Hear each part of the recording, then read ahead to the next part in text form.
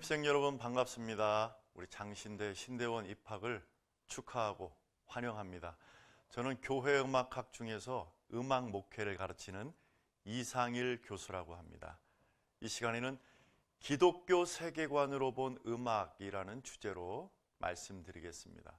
성경은 음악에 관해서 무엇이라고 말하는지, 무엇이라고 가르치는지 창조, 타락, 구원이라는 이 세 가지 틀에서 설명하겠습니다. 먼저 창조에 관해 살펴보겠습니다.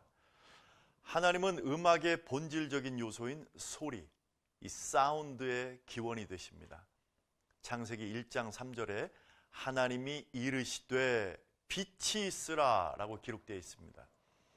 여기에서 이르시되로 번역된 히브리어가 아마르인데 이 단어는 구약 성경에서 하나님이 아담에게 이르시되 아브라함에게 이르시되 또 모세에게 이르시되라고 할 때도 사용됐습니다.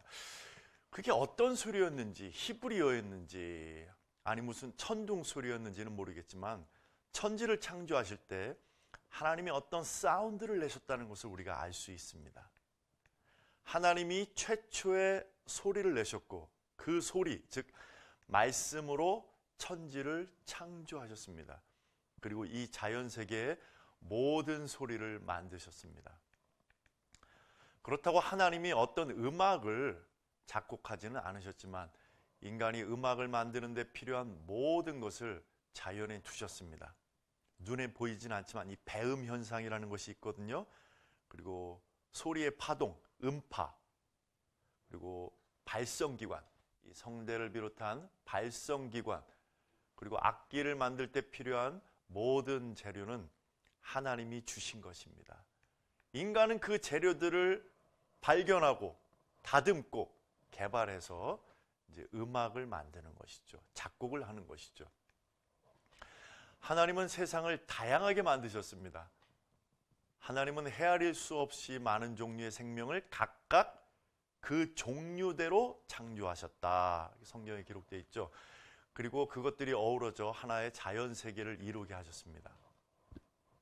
하나님은 고래와 코끼리처럼 큰 동물뿐만 아니라 멸치나 거미처럼 작은 동물도 만드셨습니다. 여러분, 지금까지 발견된 거미의 종류가 몇 종류나 되는지 아세요?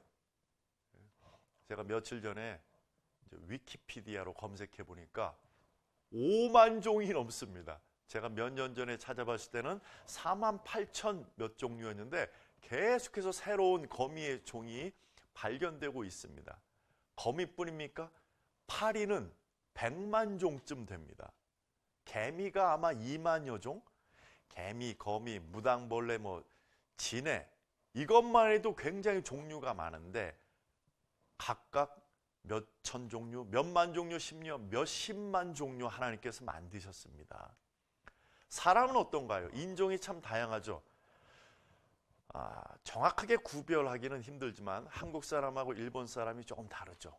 중국 사람 조금 다르고 몽골 사람 다르고 동남아 사람 다르고 또 방글라데시 인도 사람 다르고 중동 사람 다르고 같은 아시아 사람인데도 조금씩 다릅니다.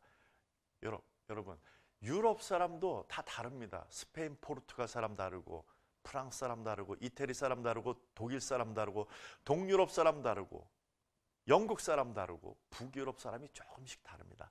하나님은 이렇게 다양하게 만드셨습니다. 음악 양식도 시대별, 지역별, 문화별로 서로 많이 다릅니다. 오늘날 한국 사회, 한국 교회에도 다양한 음악이 공존하죠. 우리 찬송가만 해도 천년 넘은 노래가 있습니다. 멜로디가 천년이 넘은 노래들이 있습니다. 한편 21세기 노래도 있습니다. CCM도 있습니다. 그리고 아프리카 노래도 있고 남미 노래도 있습니다. 브라질 노래도 있습니다. 그리고 세대별로 좋아하는 음악 양식이 다양합니다. 이렇게 음악 양식이 다양한 것은 자연스럽고 바람직한 겁니다, 여러분. 우리는 음악에 있어서도 다양성을 존중해야 됩니다. 왜냐하면 하나님이 다양성의 하나님이시기 때문입니다. 하나님은 다양성을 귀하게 여기십니다. 우리는 한 가지 스타일만 고집할 필요가 없습니다. 여러분, 예배 시간에 찬송가만 부르는 것 저는 바람직하지 않다고 생각합니다. 뭐 어노인팅 노래만 부르는 것 역시 바람직하지 않다고 생각합니다. 다양한 노래를 예배 시간에도 부르세요. 새로운 소리와 스타일을 찾아 탐구하고 즐기는 것을 주저하지 마시고 하나님의 다양한 소리의 정원에서 마음껏 즐겨야 됩니다. 여러분 찬송가나 CC에만 불러야 됩니까? 예. 가요도 들으시고 부르세요. 팝송도 들으시고 재즈도 들으시고 민요도 국악도 들으시고 클래식 음악도 들으세요. 다양한 음악을 즐겨보세요. 인간은 또 하나님의 형상대로 창조되었습니다. 그래서 창조주 하나님의 형상을 따라 창조성이 우리 모든 인간에게 있습니다. 이 창조성에는 음악적 창조성도 포함됩니다. 우리 중 누구에게는 아주 특별한 재능이 있죠. 음악을 전공한 분들도 있죠. 그런데 모든 이에게 어느 정도의 음악적 창조성은 있습니다. 아무 음악도 창조할 수 없는 사람은 없습니다. 예를 들어서 안녕하세요. 제가 여러분에게 물으면 반갑습니다를 음악으로 표현해 보세요. 반갑습니다. 반갑습니다. 반갑습니다. 반갑습니다. 반갑습니다. 요 다섯 음절로 만들 수 있는 이 멜로디가 몇 종류나 될까요? 예. 수천 종류, 수만 종류, 거의 무한대입니다. 예. 그리고 비록 사람마다 아름다움에 대한 기준과 평가가 다를 수는 있지만 모든 사람이 아름다움을 어느 정도는 듣고 느끼고 맛보고 즐길 수 있도록 하나님이 창조하셨습니다. 예. 그런데 이 창조성과 미적인 것을 느끼는 능력은 우리 기독교인에게만 주어진 것이 아닙니다. 하나님이 비를 누구에게나 내리시는 것처럼 아름다운 음악을 만들 수 있는 재능을 기독교인뿐만 아니라 비기독교인에게도 허락하셨습니다. 여러분, 기독교인 작곡가와 비기독교인 작곡가 중 누가 더 훌륭한 음악을 작곡할 수 있을까요? 아무래도 하나님이 기독교인 작곡가에게 더 영감을 주셔서 더 훌륭한 음악을 만들 수 있을까요? 네, 이것은 사람 나름입니다. 100m 달리기를 할 때 기독교인과 비기독교인 중에서 누가 더 잘할까요? 이것과 비슷한 질문입니다. 사람 나름이죠. 종교개혁가 칼뱅은 말합니다. 재능과 능력에 있어서 신자와 비신자의 차이는 없다. 우리가 비신자들 가운데서 발견되는 진리, 선, 아름다움을 폄훼하는 것은 성령을 향해 조롱을 퍼붓는 것과 다름없다.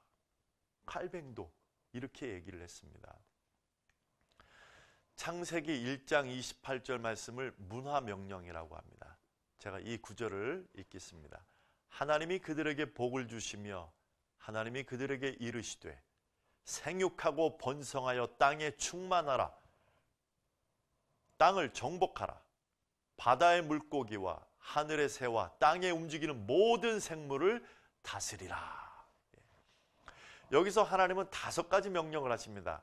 생육하라, 번성하라, 충만하라, 정복하라, 다스리라. 이것은 인간이 창조 세계를 보존하고 관리하고 이용하고 개발하게 하신 것입니다. 그런데 이것은 복된 명령입니다. 28절 보시면 하나님이 그들에게 복을 주시며 이르셨다고 성경은 기록하고 있습니다. 그래서 이 문화 명령은 인간이 행해야 할 책임과 의무이면서 엄청난 특권이자 축복입니다. 인간의 모든 문화는 이 문화 명령을 인간이 수행해서 이루어진 결과라고 말할 수 있습니다. 하나님을 믿는 사람은 이 명령을 알고서 수행한 것이고 믿지 않는 사람은 모른 채 수행한 것입니다. 이 문화 명령의 처음 부분은 생육하고 번성하여 땅에 충만하라입니다. 음악 만들기는 생육하고 번성하여 땅에 충만하라는 이 하나님의 문화 명령에 대한 순종 행위입니다. 그래서 사람들은 아주 옛날부터 어떤 지역이든지 어떤 시대이든지 다양한 종류의 음악을 스스로 만들고 발전시켜 왔습니다. 우리에게 익숙한 것이 이제 서양 음악인데 서양뿐만 아니라 우리나라도 또 동남아시아, 아프리카에서도 옛날부터 음악이 발전해 왔습니다. 그래서 일할 때 부르는 음악도 있고 자장가도 있고 응원가도 있고 행진곡도 있습니다. 뭐 여덟 마디짜리 간단한 동요도 있고 네성부, 여덟성부, 합창곡도 있고 아주 길고 복잡한 구조의 교향곡이나 오페라도 있습니다. 연주하는데 다섯 시간 이상 걸리는 작품도 있습니다.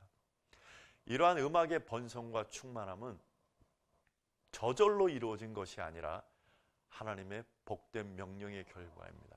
제가 2009년에 나온 자료를 보니까 그 당시까지 녹음된 곡이 전 세계에 몇 곡이나 되는지 아세요? 100만 곡? 100억 곡 이상이 됩니다. 2009년 자료에 보니까 지금 훨씬 더 많아졌겠죠. 그 다음 명령은 땅을 정복하라입니다. 인간은 땅을 복종하게 해서 지배하고 선한 목적을 위해 그것을 개발하고 이용하도록 명령받았습니다. 땅을 정복하라는 말은 땅을 개척하고 문화를 일구는 것을 말합니다. 이 명령을 따라서 창조 세계 가운데 주신 수많은 음악적 재료를 우리는 개척자와 탐험가의 정신으로 찾아내고 조합하고 개발하고 다듬어서 이 땅에서 음악을 더욱 아름답고 풍성하게 가꾸어 나가야 합니다.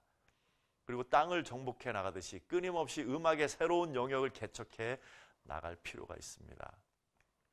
그리고 문화명령의 마지막 부분은 모든 생물을 다스리라는 것입니다. 이것은 하나님의 대리자로서 피조물들을 다스리도록 하나님께서 인간에게 통치권을 위임하신 것을 의미합니다. 그런데 인간에게 주어진 이 통치권은 하나님의 뜻 안에서 행사되어야 되는 조건적이며 제한적인 통치권이고 인간은 이 통치권을 통해 자신이 아니라 창조주 하나님께 영광을 돌려야 됩니다.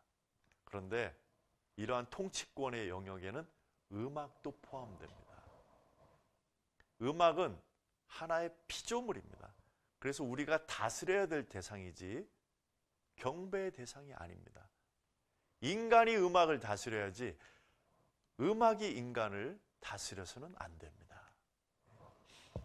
지금까지 간략하게 창조를 통해서 배울 수 있는 점을 살펴보았습니다. 이제 두 번째 단계, 타락에 관해 말씀드리겠습니다.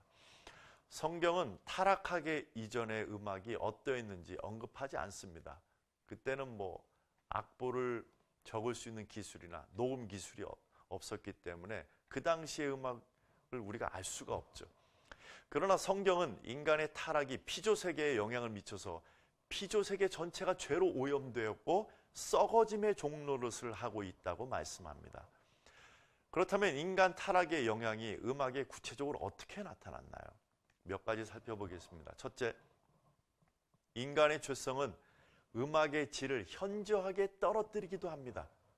타락한 인간이 죄성 가운데 만들어낸 음악은 새롭지 못하고 지루하거나 조잡하고 과장되어 천박할 수도 있습니다.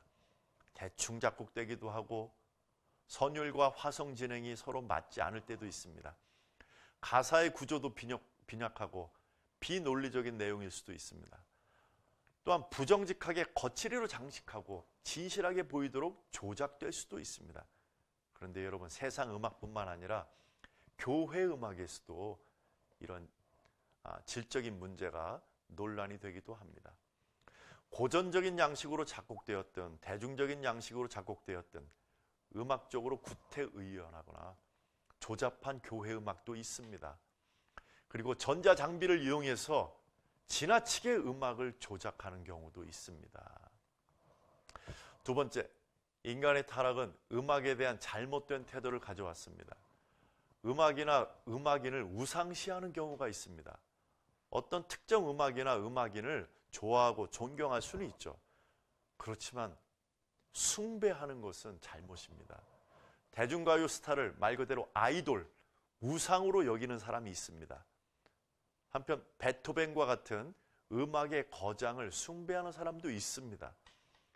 또한 음악인의 경우도 자칫 오만해지기 쉽습니다. 이 역시 잘못된 태도입니다. 하나님께서 음악적 재능과 영감을 주신 것인데 마치 자신이 하나님과 같은 창조자인 것처럼 여기는 사람도 있습니다. 그리고 자신은 베토벤처럼 자신은 하나님이 자기에게 계시해 주신 음악을 일반 사람에게 전하는 중간자 위치에 있고 특별한 능력이 있다고 생각하는 사람들도 있습니다. 그리고 음악을 즐거움의 수단으로만 생각하는 것도 잘못입니다. 교회 음악에서도 우리 즐거움의 요소를 배제할 수는 없지만 가사를 무시하고 영적인 경험보다는 음악 자체가 주는 만족을 구하는 것은 잘못입니다. 예. 신나기 위해, 예. 기분 좋아지기 위해 찬양하는 이들도 있습니다. 예. 특히 10대와 20대는 이런 경향을 주의해야 합니다. 셋째, 인간의 타락은 음악의 오용을 가져왔습니다. 음악을 상황에 맞지 않게 무분별하게 별 의미 없이 장식품으로 사용하거나 음악을 통해 자기 자신이나 자신의 위치를 드러내거나 음악을 부정적이고 파괴적인 목적으로 사용하는 것 등 이 모두가 잘못된 것입니다. 이제 세 번째 구원에 관해 살펴보겠습니다. 성경에 새 노래라는 표현이 한 열번쯤 나오는데 이것은 이전에 들어보지 못했던 새로운 곡조의 노래나 특별한 행사를 위해 새로 작곡된 노래를 말하는 것이 아니라 그리스도 안에서 새로운 피조물이 된 백성이 삼위일체 하나님께 올려드리는 노래라고 보는 것이 더 맞겠습니다. 물론 우리가 새로운 노래를 계속 만들고 그 노래들도 불러야 되겠지만 그렇다고 새로 만든 노래만 부르라는 것이 아닙니다. 예. 새 노래는 새 사람의 노래입니다. 그래서 구원받은 성도들만이 이 새 노래를 부를 수 있습니다. 그리고 이 새 노래는 노래하는 사람이 새로운 마음으로 부르는 것을 의미하기도 합니다. 즉 하나님의 구원의 은혜와 사랑에 대해 새로운 감격과 기쁨을 가지고 부르는 노래가 바로 새 노래입니다. 몇백 년 전에 쓰인 찬송가를 부르더라도 또 어제 지난 주일에 부른 노래를 오늘 또 부르더라도 새로운 감격으로 부르면 그 노래는 새로운 노래입니다.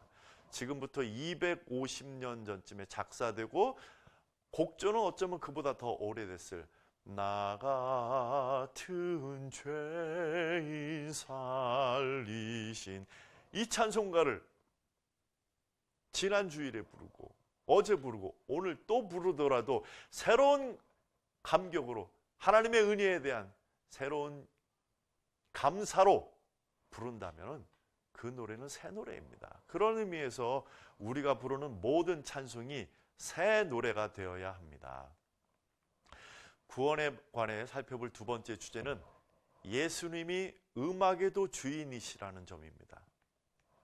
어떤 그리스도인은 음악을 단지 전도의 수단으로만 이해해야 합니다.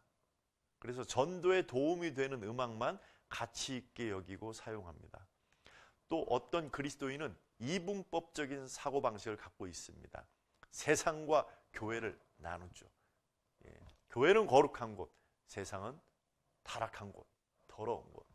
그래서 영혼 구원을 가장 중요시하고 직업에 있어서도 성직자 다음에 의사, 교사, 바람직한 직업이고 좋은 직업이고 사업가, 정치가, 뭐 연예인, 음악가 등은 세속적인 직업의 사람이라고 여깁니다. 그래서 기독교인들은 그런 일에 종사해서는 안 된다고 생각합니다. 이게 맞는 생각인가요? 아닙니다. 인간의 영혼만이 아니라 음악을 포함한 모든 창조 세계에 구원이 필요합니다. 인간의 영혼뿐만 아니라 음악의 주인도 예수 그리스도이심을 인정하고 선포하며 타락한 음악의 모습을 새롭게 하기 위해 애써야 합니다. 기독교인 사업가, 기독교인 정치가, 기독교인 연예인, 기독교인 음악가들이 나와야 됩니다. 예. 어떤 학자가 말했듯이 예수 그리스도의 주대심이 선포되지 않는 곳은 이 세상에 단 한 곳도 없다라는 말이 음악에도 적용될 수 있고 또 적용되어야 합니다. 지금까지 짧게 기독교 세계관으로 본 음악이라는 주제로 말씀드렸습니다. 이제 이 내용을 바탕으로 교회 음악인의 자세와 책임을 아, 한 세네 가지 살펴보겠습니다. 첫째, 우리는 교회 음악에서도 다양성을 추구해야 합니다. 이 세상을 다양하게 창조하시고 보시기에 좋다고 말씀하신 하나님을 우리는 본받아야 합니다. 여러분, 하나님은 입맛이 아주 다양하십니다. 예, 인간이 편식을 하죠.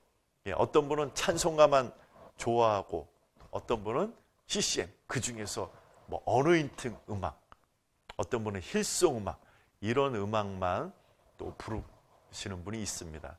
근데 하나님은 바하의 음악뿐만 아니라 아프리카 원주민의 단순한 음악도 기뻐하십니다. 국악도 기뻐하십니다. 우리에게는 지난 수천 년간 축적된 교회 음악의 보물이 있습니다. 게다가 지금도 계속 새 것들이 이 보물 창고에 들어오고 있습니다.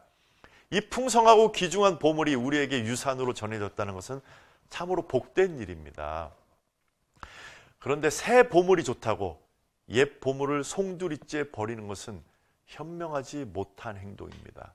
이와 반대로 옛 보물만으로 만족해서 새 보물을 포기하는 것도 현명하지 못한 행동입니다. 우리는 분별력을 갖고 새 것과 옛 것을 이 보물 창고에서 꺼내서 회중과 함께 나누는 것이 필요합니다. 예. 시대뿐만 아니라 지역과 음악 양식에서도 다양성을 추구해야 됩니다. 토마스 롱이라는 학자가 얘기했습니다. 교회 음악의 스펙트럼도 굉장히 넓습니다. 한쪽 끝을 바하의 음악이라고 한다. 그 다음에 뭐 찬송가 스타일, 그 다음에 뭐 20세기 후반에 초창기 경배와 찬양 음악 스타일 해서 한쪽 끝을 아, CCM 중에서 헤비메탈 음악, 힙합 음악이라고 한다 하면은 많은 교회가 예, 수직으로 자릅니다. 우리 교회는 찬송가 스타일이 적당해. 우리 교회는 잔잔한 경배와 찬양 음악 스타일. 우리 교회는 20대 불신자들을 구원하기 위해서 설립된 교회니까 아, 크리스찬 힙합 음악 요 스타일 이것이 적합해. 수직으로 자르는데 수직으로 자르지 말고 수평으로 자르라. 다양한 음악 스타일 중에서 좋은 것 우리 교회에 적합한 것을 고르라. 그러면 여러분 교회 음악이 다양해질 것이다. 여러분 교회 교인이 다양한 교회 음악에 익숙해질 것이다. 이렇게 권면을 합니다. 예. 음식을 비유로 들면 회중 대부분이 햄버거를 좋아한다고 해서 그것만 요리해 줄 것이 아니라 영양을 생각해서 한식, 양식, 중식 등 다양한 요리를 제공해 줄 필요가 있습니다. 한편 회중이 한식을 좋아한다고 해서 매주 한식만 줄 것이 아니라 태국 음식 아니면 양식 중에서도 어르신들이 좋아하실 만한 요리가 무엇인가 개발해서 그것을 제공해 줌으로써 회중이 다양한 입맛을 갖게 해줄 필요가 있습니다. 다양한 교회 음악을 사용하기 위해서는 우선 그것을 선정하는 사람이 특정 음악의 형식에 집착하지 않고 예배 순서에 적합하면서도 탁월한 음악을 찾으려는 자세와 그런 음악을 분별할 수 있는 안목을 가져야 됩니다. 여러분이 신대원에 다니시면서 이제 주로 교육부서를 맡으실 텐데 여러분의 자세, 안목, 지식이 중요합니다. 여러분의 취향, 여러분의 지식, 여러분의 안목에 따라 여러분이 섬기실 교회 부서의 예배 음악이 좌우될 가능성이 크기 때문입니다. 그리고 여러분 중에 대다수가 교회에서 찬송을 인도하시게 될 텐데 여러분이 다양한 노래를 알고 새로 배우고 교회에서 시도를 하면 여러분 교회의 음악이 다양하고 풍성해질 것입니다. 여러분 대부분 20대에서 30대 초중반 있죠. 여러분에게는 찬송가가 오히려 새 노래일 겁니다. 이 몇백 년 된 찬송가가 여러분에게는 새 노래일 거예요. 여러분 대부분이 CCM에 아주 익숙하실 테니까 신대원 다니시면서 찬송가를 많이 배우세요. 많이 부르세요. 교회 음악인의 두 번째 자세는 창조성입니다. 교회 음악에도 인간의 창조성이 현저하게 나타나야 됩니다. 작사자나 작곡자는 창조적인 음악을 만들어야 됩니다. 그러나 상상력이 빈곤하고 기술적인 면에서도 부족한 교회 음악이 많습니다. 익숙하고 편안한 것에 안주하지 말고 하나님께서 우리에게 주신 창조성을 최대한 활용해서 더 창조적인 음악, 새로운 음악을 하나님께 드려야 됩니다. 신대원생 여러분은 작사나 작곡은 이제 하지 않더라도 연주, 선곡, 또 찬송 인도에 있어서도 창조성을 발휘할 필요가 있습니다. 어느 유명 찬양팀 그대로 따라하지 마시고 여러분의 창조성을 발휘해서 연주도 해보시고 선곡도 하시고 찬송 인도도 해보세요. 교회 음악인의 세 번째 자세는 종과 목회자의 마음입니다. 아까 우리가 기독교 세계관으로 본 음악에서 살펴보지 않았지만 예수님의 성육신과 십자가를 통해서 이러한 자세를 우리가 배울 수 있습니다. 성육신은 지극히 높으신 창조주 하나님이 피조물로 낮아지신 것을 의미합니다. 교회에서 음악으로 섬기는 사람들도 예수님을 본받아서 자신을 비울 필요가 있습니다. 교회 음악의 현장은 음악인들이 자기의 솜씨를 뽐내고 박수를 받는 자리가 아닙니다. 오직 하나님의 영광만 드러나야 되고 하나님께 영광을 돌려야 하는 자리입니다. 더 나아가서 우리는 예수님의 십자가를 바라보아야 합니다. 십자가는 예수님이 성육신보다 훨씬 더 비참한 상태로 낮아지신 것을 의미합니다. 우리는 다른 사람들과 경쟁하고 사람들에게 음악적으로 인정받기 위해 힘쓰고 애쓰기보다는 더욱 낮은 자리에서 심지어 굴욕적인 자리에서라도 묵묵히 자신의 사명을 감당하는 사람이 되어야 합니다. 때로는 나의 음악적인 자존심을 버릴 줄도 알아야 됩니다. 엘리트 의식 대신에 종의 의식을 가져야 합니다. 그리고 나의 음악적 기준보다 교인에 대한 관심이 우선돼야 됩니다. 그들에 대한 배려와 사랑을 보여주어야 하고 목회자의 자세를 가지고 그들을 섬겨야 됩니다. 여러분, 음악보다 사람이 우선입니다. 사역보다 사람이 우선입니다. 결과보다 과정이 중요합니다. 마지막으로 우리는 교회 음악에서도 탁월성을 추구해야 합니다. 예수님은 인간의 몸을 입으셨지만 여전히 하나님이셨습니다. 하나님의 독생자의 영광을 보여주셨습니다. 여전히 순결하셨고 완전하셨습니다. 음악으로 비유하자면 예수님은 아, 복잡한 교향곡이 아니라 미녀가 되셨지만 여전히 탁월하고 아름다우셨습니다. 미녀가 아름다운 거 아시죠? 아리랑 얼마나 아름답습니까? 이처럼 교회 음악도 교인들의 수준에 따라 음악 형태를 단순하고 대중적인 것으로 바꾸더라도 음악적인 질까지 수준까지 포기해서는 안 됩니다. 탁월성을 포기하면 안 됩니다. 그런데 오늘날 많은 한국 교회에서 지극히 높고 영, 영화로우신 하나님께 드린다고 하는 음악이 매우 실망스러울 정도로 진부하고 평범합니다. 2류, 3류 음악을 들이면서도 자기를 정당화합니다. 은혜로만 드리면 되지라고 정당화합니다. 그리고 연습을 하지 않습니다. 그런데 구약 성경을 보면 하나님께 바치는 제물에 대한 기준이 매우 높았습니다. 사람 형편에 따라서 누구는 소를 바치고 누구는 양을 바치고 누구는 비둘기, 누구는 곡물을 바치지만 하나님이 요구하시는 제물에 대한 기준은 똑같았습니다. 흠이 없어야 됐습니다. 자기가 드릴 수 있는 것 중에서 가장 좋은 것을 드려야 됐습니다. 오늘날 우리는 찬송의 제물을 드릴 때도 하나님께서 요구하시는 기준은 변하지 않습니다. 흠이 없는 것이어야 됩니다. 우리가 가진 것 중에서 가장 좋은 것을 드려야 됩니다. 그리고 하나님은 최고의 가치를 지니신 분이십니다. 예배는 최고의 가치를 지니신 하나님께 합당한 영광을 돌리는 것인데 이 하나님께 우리는 최고의 음악, 우리가 드릴 수 있는 가장 좋은 음악을 드려야 됩니다. 그런 음악을 만들기 위해서 열심히 노력해야 됩니다. 그리고 하나님께서도 시편 33편에서 말씀하셨죠. 즐거운 소리로 아름답게 영어로 skillfully 솜씨 있게 연주하라 이렇게 말씀하십니다. 그러나 이때의 탁월함은 절대적인 것이 아닙니다. 헤럴드 베스트라는 학자의 말을 빌리자면 과거보다 오늘이 더 나아지는 과정, 즉 계속 발전하는 상태를 의미합니다. 찬양대를 예로 들면 어느 찬양대나 핸델의 메시아를 연주할 수는 없습니다. 그러나 현재 어느 수준에 있더라도 조금씩 조금씩 계속 발전할 가능성은 있습니다. 이 탁월함에 대한 판단은 하나님만이 올바르게 하실 수 있습니다. 하나님은 연주보다 우리의 마음에 더 관심을 갖고 계십니다. 우리는 하나님이 탁월한 음악만 기뻐하시고 받으시기 때문에 탁월한 음악을 추구하는 것이 아닙니다.